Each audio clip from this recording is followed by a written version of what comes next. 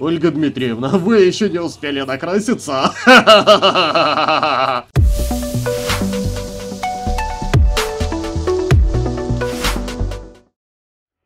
Здорово, братаны, вы на канале DevPlay, меня зовут Евгений, и мы все еще продолжаем проходить ретроспективу падения Савенка. Погнали! И сейчас нам надо сделать выбор. Оставить Влада в покое или настойчиво, настойчиво его пригласить. Ну и нам, короче, надо настойчиво его, сука, пригласить. Да. Настойчиво приглашаем Влада. Нет, Владос. Отказы не принимаются. Но. И никаких но. Ты же не отстанешь, да? Ага. У меня всего один патрон. Чё? Да расслабься. Возможно, ты и прав. Хватит истязать себя. Он достал из заднего кармана револьвер и выкинул его в реку. А где там река? Которая проплывала недалеко от нашего дома и по которой иногда плавали лодки. Черт, последние деньги на него потратил. Да иди ты, дебил! Я обнял его за плечо. Я тебе помогу обустроиться. Если захочешь, будешь выступать со мной. Про Юлину смерть все забыли как-то. Родители даже не успели прийти тогда домой, когда она повесилась. Приблизительно это все заняло часа два-три. Представляешь? Как сильно искажается время. А про тебя никто и не спросит. Хорошая перспектива, раз сам ретробой приглашает. Он сделал важный вид. Пойдем. Кое-кто будет рад тебя видеть. Надеюсь. Поднявшись по лифту, мы зашли в квартиру. Семен, это ты? Послышалось из зала. Да. Ну, наконец-то, сколько можно ждать? Я зашел на кухню первый. Угадайте, кого я с собой привел. Все кинули на меня удивленные глаза. Твой выход. Когда Влад зашел, по полу можно было собирать челюсти всех присутствующих. Охренеть! Не выражайся, тут дети. Охренеть! Понятно. Ты? Ну, типа да.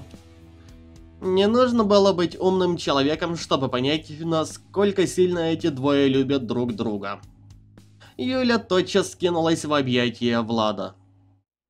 Куранты начали, начинали отбивать счет.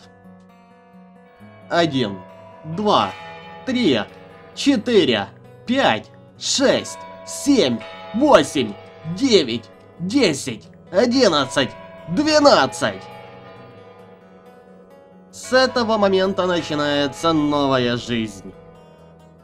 Лучше прежней.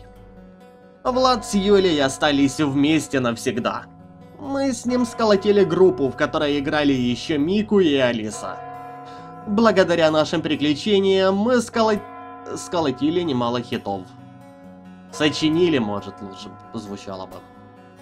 И все благодаря Владу и Савенку. Спасибо тебе за все. Да не за что. Жизнь течет очень быстро, как водопад. И этот год прошел незаметно для нас. Мы собрались у меня все той же компанией. Все тот же Новый год. Праздник прервал громкий стук в дверь в час ночи. «Чего стоишь, Сем? Иди открой!» «Ладно». Я подошел и, несмотря в глазок, открыл дверь. «Привет». «Да ну! Что за нахер?» Меня будто пришибло брев... бревном по голове. Передо мной стоял чертов Толик. Кажется, у меня начали отказывать слух, зрение и все до цветя. Возьми себя в руки. Совенок раскололся, но не полностью. А на сотни других совенков откуда поворовались сотни ваших копий. Я не понимаю. Мне нужен Влад. Он создал совенок, но он его разрушил. Но что-то пошло не так. Влад! На мой крик сбежались все. А вот это конкретно не смешной прикол. И еще кто-то придет? Я думала, Толя умер. Я тоже. Господи, что случилось? Влад. Бля, не может быть. Совенок жил, а вместе с ним и все копии всех Семенов. И его девушек вырвались на свободу. Ваш мир. Я метался непонимающим взглядом то на одного, то на другого. Это приведет к разрыву горизонта событий. И тогда... Тогда пиздец всему живому на этой планете! Это если вкратце. Влад достал телефон из кармана и начал нервно что-то перебирать. Нет, не может. Где же загвоздка? Я пригласил всех за стол. Влад ходил вокруг комнаты. По кругу комнаты. А Юля пыталась его успокоить. «Погоди, может оно само рассосется?» Влад посмотрел на нее. Посмотрел так, что Юля пон поняла, что ей лучше молчать. Раздался гром. «Матерь божья!» Как громко!» Влад подбежал к окну. Началось. Все подбежали к окну за ним. Все в страхе прижались, прижались друг к другу и задрожали. Перед нами стояли ворота совенка. Их было сложно сосчитать. Просто множество копий ворот, которые стояли как лего. И снег каким-то образом весь исчез. Семен, сказал Влад, не отрываясь. Ты готов? Отдать жизнь за спасение мира? Только тебе вряд ли кто-то скажет спасибо. Лучше умереть героем, чем жить трусом. В сопляжуйстве тебе нет равных. Пошел-то! Он улыбнулся. Из ворот Савенков начали выходить пионеры. Ульяны, Славия, Алиса, Лена, Ольги. Их было тысяча. Или больше. Их... их что-то вело. Толик! Семен, за мной!» Он подбежал к Юле и поцеловал. Выбежал, мы за ним. «Берегите себя!» «Что будем делать?» Спросил я в попыхах, когда мы до добежали до ворот. «То, что мы можем лучше всего! Бить морда!» На его лице появилась дьявольская улыбка. Я никого не подпущу в наш мир! Как только мы подошли к воротам Савенка, оттуда вышла Славя. Боже! Это была не та Славя. То есть, это вообще не человек. Там какое-то вообще неспособное... Неспособное к жизнедеятельности. А, такое вообще не способно к жизнедеятельности. Все тело в ранах и крови, руки оторваны, один глаз вырван. Хуюся.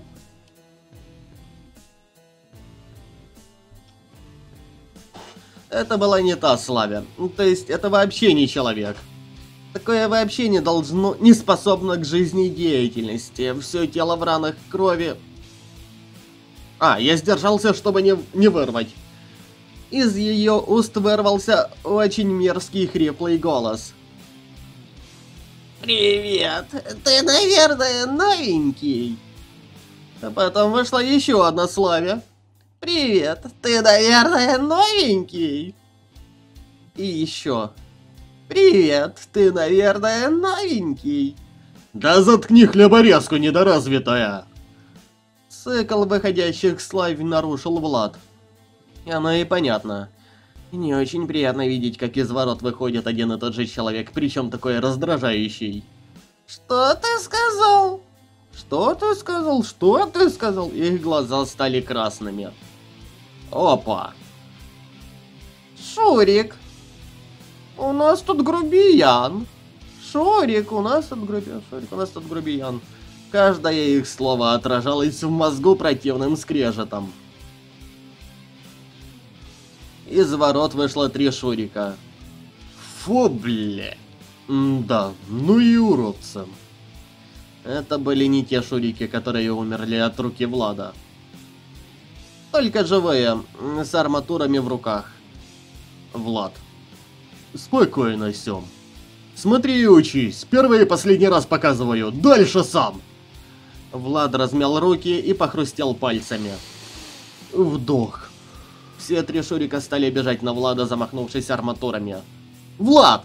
Выдох! Все действие происходило будто в вспышке. Толя стоял, как и я, и смотрел. Девочки выглядывали в окно. А Влад...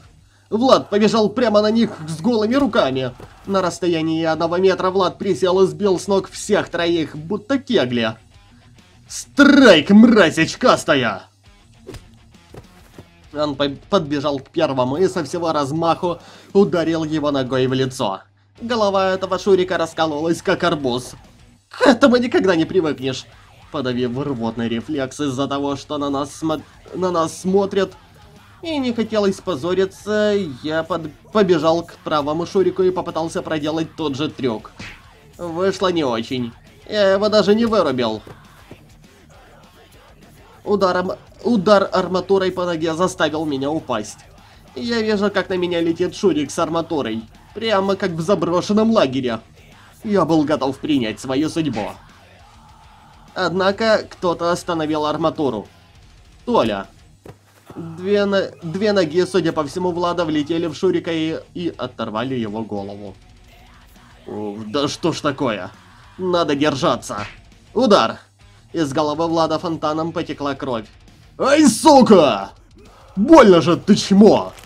Влад сунул руку Шурику в распоротый живот и выдернул кишки и желудок. Шурик упал.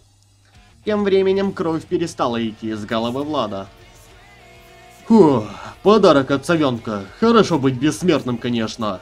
Но нужно быть осторожным. Это уже слишком. Я вырвал. Все в порядке, Сеня. Не стесняйся. Тут все свои. Толик не подал никакой эмоции. Славе начали идти на Влада. Тот уложил каждую ударом в челюсть, нос и висок, как домино. Я же проверил каждую ударами ногой по голове. «Да ты опасный человек!» Он рассмеялся. «Да иди ты! Это на всякий!» «Ну-ну!» Мы подошли к воротам. Оттуда послышался голос Ольги Дмитриевны. Только их было много, и они эхом раздавались по всей улице. Это чертовски странно, но выглядело красиво. Небо черного цвета с красными прожилками. Сзади наш реальный мир, а спереди совенок. Пугало и притягивало одновременно. Сама же Ольга Дмитриевна, точнее, еще одна, которая осмелилась выйти к нам, направилась прямиком на нас. Фу, это ужасно. Ольга Дмитриевна, вы еще не успели накраситься? Астром. Она была бледного цвета, вместо глаз черные впадины, а рот слипшийся и весь в крови. Мерзость. Влад было собирался вмазать ей. Не уступишь? Он сделал реверанс. Пожалуйте. Я размахнулся и что есть силы вмазал вожатой в челюсть. Челюсть выпала, вожатая набросилась на меня. Из ее рта хлестала темная кровь. Я ударил ее еще раз, и она упала. Ногой я окончательно ее добил. И еще раз вырвал. «Побереги силы!» Он похлопал меня по плечу. Все непременно. Через некоторое время голос Ольги, которая была за воротами, стал яснее. Пароль. Чё? В ту же секунду с неба послышался громкий треск, и во Влада ударила молния. А! Мы все встали в оцепенении. Меня будто самого пронзило этой молнией и криком Влада. «Твою мать, как же больно!» А! Влад! Сзади раздался надрывной голос Юли. За ней бежали все остальные, кроме парней самих девушек. Юля подбежала и обняла Влада, а Алиса обняла меня. Все же остальные лишь жалобно смотрели на нас. Все, кроме Лены. Ее не было. «Они... они пропали! Наши парни!» Мику заплакала и уткнулась в плечо Славе. «А Лена? Лена не выдержала и... и... закрылась в ванной и перерезала себе горло». «Нахуя?» К горлу подступил огромный ком. Вот же. Я был в растерянности. Влад в полусознании лежал на коленях. Стоял на коленях. Юля его обнимала. Алиса плакала у меня на плече. Все остальные просто стояли в истерике. Лишь у Толи были пустые глаза, но оказалось, и он готов выйти из себя. С... Семен, сказал Влад, поднимаясь с колен. Совенок объявил нам войну. Я больше не могу им управлять. Я чувствую. Чувствую, что кто-то мешает мне. Юля помогла ему идти. Мы сели на пересечении нашего мира и мира лагеря. Его отделяла тонкая красная линия, которая сияла кровавым светом. Совенок перестал подчиняться мне. Кажется, есть кто-то, кто сильнее создателя Совенка. Кто? Я не могу понять. Да Юра же, блять, это так понятно. Я не могу понять. Да и мы кого-то забыли. Кого-то здесь не хватает. Кого-то, кого мы забыли взять с собой. Погоди, может ты говорил, что все, кто есть в этом лагере, когда-то мертвые люди? Может, ты говорил, что все... Может, тебе вспомнить, ну, свою смерть. Все странно посмотрели на меня. Юля нахмурилась. Нет, сейчас не время. Да, он прав. И Влад перебил ее. Нужно вспомнить каждую деталь. До и после. Нужно вспомнить пароль. Он положил пальцы на виски. Несколько лет назад. 24 часа до катастрофы. Нам назначили стрелу два парня из параллели. Мы шли с уроков за угол школы. Завтра у Юли день рождения. А я до сих пор без понятия, что ей подарить. Есть идеи? Не, нема. Безразлично ответил Юра. Тебя действительно сейчас только это волнует? А что еще? Переживаешь насчет этих затупков? Не ссы компот. Я им вмажу, а ты камнями в них покидаешь. Мы посмеялись. Спасибо еще раз, что вступился за меня. Вряд ли бы я осилил даже одного из них. Да не парься, вмажем им по самые помидоры. У меня вообще, кроме тебя и Юли, больше никого нет.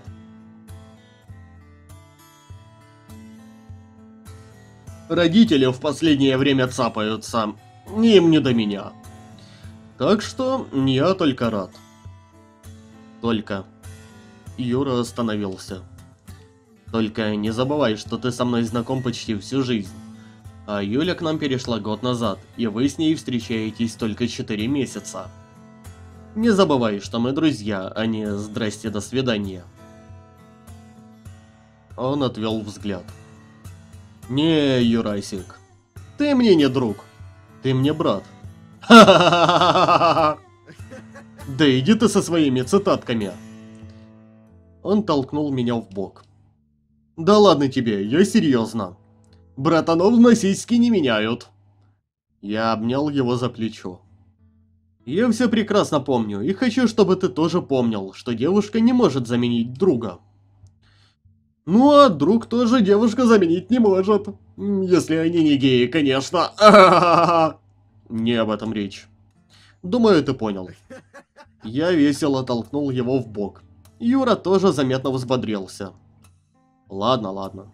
Давай наваляем этим толстожопом.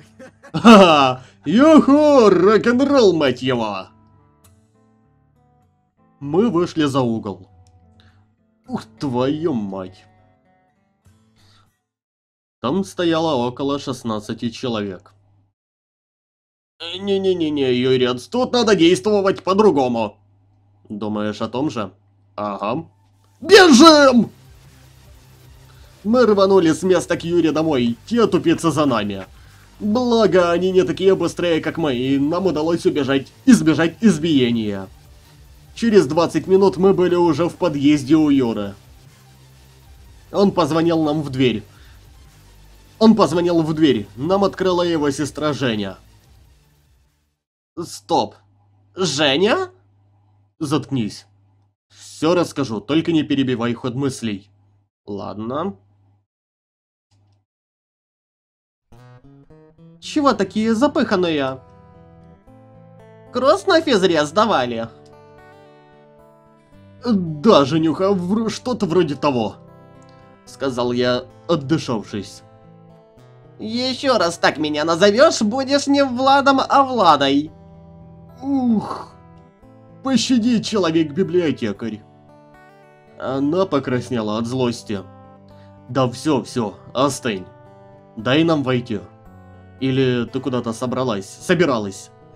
А собиралась она или не собиралась, мы узнаем уже в следующий раз. А на этом на сегодня все. Всем спасибо за просмотр и всем пока.